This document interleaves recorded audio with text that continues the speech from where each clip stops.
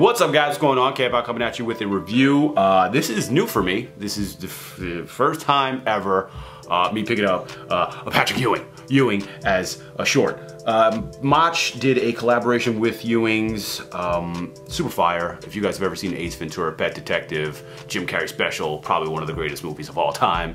Um, yeah, so let me just get right into it. So the box has this Honolulu design. In the in the movie, he wears a lot of floral prints on uh, like short sleeve button ups or it's very crazy. I'll drop a picture so you guys see what I'm talking about. But on the box, you got Ace Ventura Pet Detective to serve and protect your pets. Pop this bad boy open. Uh, let me show you the side of the box real quick. So the side of the box has Patrick Ewing on the side of it. a little dunk action going on. here. I'm gonna take him out of the box.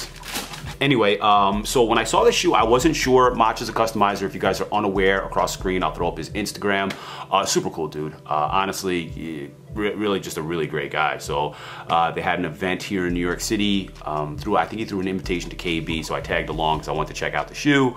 Uh, I wound up copying. Super dope. So you got uh, gray as the base on the bottom portion of the shoe, midsole, uh, heel wrap in a croc print. Uh, pretty nice actually, not too bad. Colors on the back are turquoise with the orange underlay. Uh, Finkel is Einhorn, Einhorn is Finkel. Once again, a reference to the movie.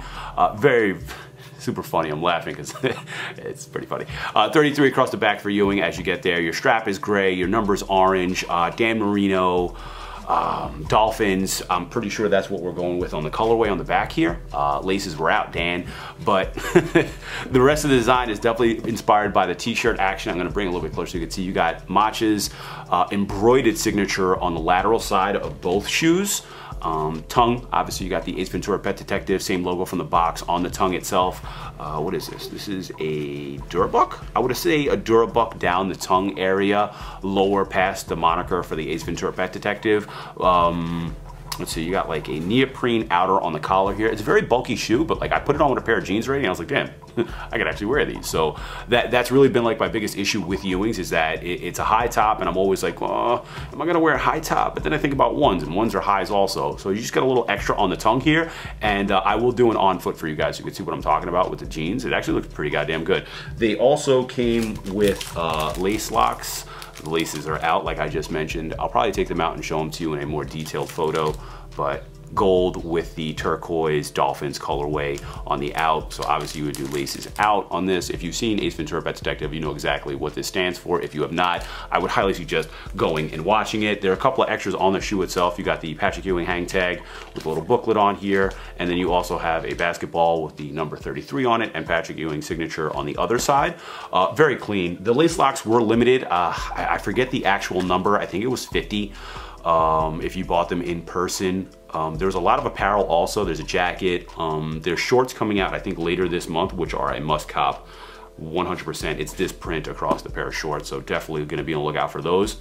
Uh, last attribute is the icy outsole. I don't know if you guys catch that from the midsole, but on the outsole itself, it's icy, so I, am always a big fan of an icy outsole. Overall, very, very clean, very pleased with the outcome of this shoe. I'm probably going to be on the lookout for another pair. Like I, I it, it, they're on my radar thanks to Kick It with Didi, but I mean, for the most part, Patrick Ewing is definitely not one of the sneakers that I heavily rotate into my closet, but I'm very pleased that I picked these up, very happy. So if you were thinking about doing it, I would definitely do it. I also went with a size 11. Uh, I went a half a size up as per Didi's instructions and it worked out great. So uh, look for a half a size up if you are going to cop a pair. Uh, other than that, I'm getting out of here. If you guys have any questions or comments, hit me in the comment section. And as always, shoot a thumbs up. Peace.